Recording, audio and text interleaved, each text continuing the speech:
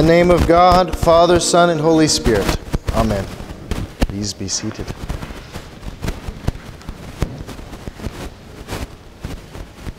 Several years ago, a popular book came out called Outliers. And in it, the author put forth a theory that to master a subject, to really become a professional at any skill or discipline or art, you had to invest about 10,000 hours. About 10,000 hours to really understand something thoroughly and fully and completely. And I want to take that theory one step further. You have to become a master of something, I believe, to make something very simple. You have to become so good and so uh, apt and so professional to really make it perfectly, elegantly, beautifully simple. For example, right, if you watch a, a, cooking show or something, or if you see a great chef, a great chef who's mastered the French kitchen, right, mastered uh, all the cooking techniques around the world, someone who works at a three star Michelin restaurant, maybe they're going to give him a fourth star for the first time, right? Someone who is at the height of their game, and they'll add an egg on top. They'll make a perfect meal and add a perfectly poached egg. Now, an egg is simple. I make eggs every morning, right? And yet, to make a perfectly elegant poached egg is the height of a professional chef, a display of the true passion and technique that they've honed over years and sweat equity, right? To make something simple, you have to become a master first. We think of Bob Dylan. Bob Dylan won this week the Nobel Prize in Literature. Bob Dylan is clearly a master of music. Clearly, he's ingested and taken on the great American songbook for himself. Bob Dylan was raised in Minnesota listening to the blues, listening to folk music, ingesting it, consuming it, becoming it. Through high school, he played with various bands. And in the early 1960s, he walked the streets of New York playing music. He played at every dive bar. He played at every little venue that they would have him, that they would allow him to take out his guitar. For years, he did nothing but play music. And he became a master of it. He invested his 10,000 hours and he, he went through music to the point where he was able to write the very simple lyrics The answer, my friend, is blowing in the wind. Right? The answer is blowing in the wind. He's able to write a song so profound and so elegant because it's simple and it endured. Endured through civil rights, endured through wars, and it endures today as a message of hope, right? Because it takes a master to write something so perfectly and elegantly simple. And the story from Genesis this morning is a story of Jacob struggling with God. And Jacob, no doubt, has put in 10,000 hours wrestling and struggling. He's a master of struggle. Jacob was wrestling with his brother in the womb, Esau, right? As a young man, he struggled to find his place in the world and in a family where he was second best, which meant maybe nothing at all. Struggled with his father and getting attention from his father. He struggled with his brother. He fled. He struggled to marry the woman he loved and then married her sister too. He struggled with his wives and his 12 children and their two handmaids. He struggled with his father in law who would lie and steal and cheat from him. He struggled with his shepherds as he was trying to accrue wealth and build a name for himself. And finally, he comes home. He's about to meet his brother Esau again. Jacob and Esau haven't seen each other for 20 years. And Esau wants to kill him. And Jacob knows this is it. This is the last night. This is the ultimate struggle. He sends his family away. He sends his herds away. He's all by himself and lays down by the river Jabbok. And he knows this is the ultimate struggle for his life. And that night, he wrestles with God.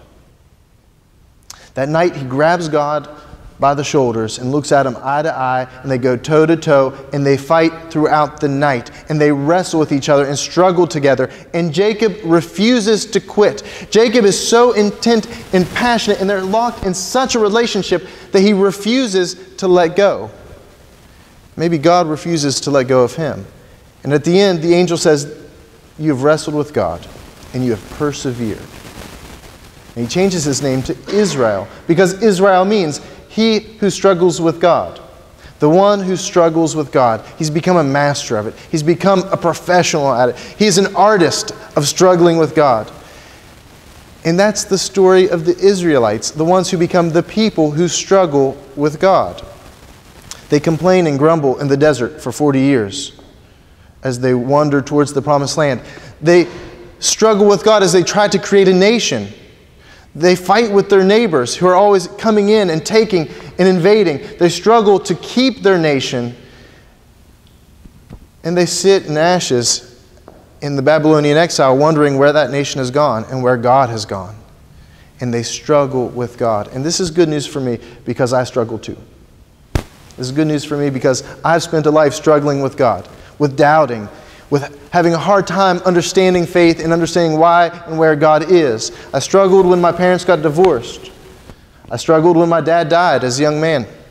I struggled after graduating college not being able to find a job, and then I struggled after I had a job. I struggled having children, and then when my two week old baby was in the hospital for several weeks, right? I struggled today when my friends are sick and they get bad news. I struggle when my friends are dying and die. I struggle when people in my community are hurting.